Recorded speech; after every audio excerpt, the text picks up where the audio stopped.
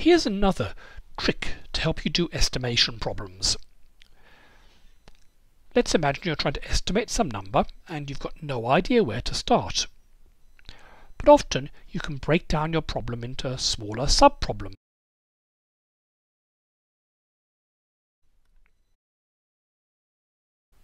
And you could estimate that if you knew, say, two other things. And maybe this other minor thing over here, you can estimate that if you know three other things. And what you do is you keep breaking down everything you can't solve into smaller things and smaller things until eventually the tips of the tree are things you can estimate using your general knowledge. So let me give you an example of an estimation problem that I actually had to do as part of my work a few years ago, which was to estimate how many grains of sand there are on Earth. That's a big problem. The number sand on Earth. I mean, it's clearly a very large number, but is it very large 10 to the 10, or very large 10 to the 20, or very large 10 to the 30? That's what I wanted to work it out. Okay, so it's pretty obvious you can split this up into working out the total volume of sand on Earth and the volume of one grain. If you divide this by that, that will tell you how many grains of sand there are. Volume of one grain, well, we can work that out if we assume a radius of a typical grain. Of course, not all sand grains are going to be the same size and they're not perfect spheres, but that doesn't, really, doesn't matter at the ninja physics level of accuracy. And the radius probably about one millimeter. Again, it's not going to be spot on, but it won't be too far wrong.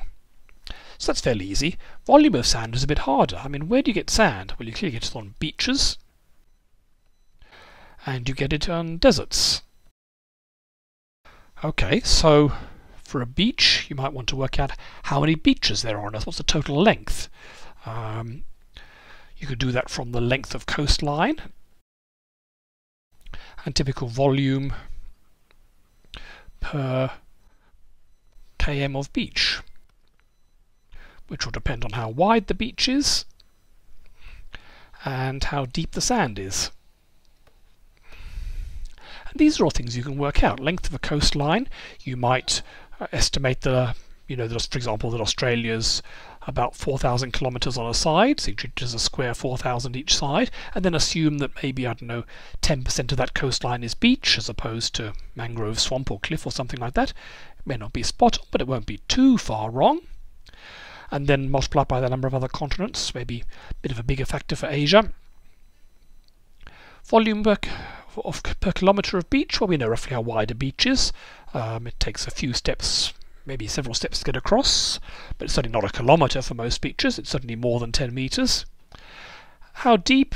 Well, it's going to be a few metres deep, I imagine, the sand. So we can estimate all these things to the order of magnitude.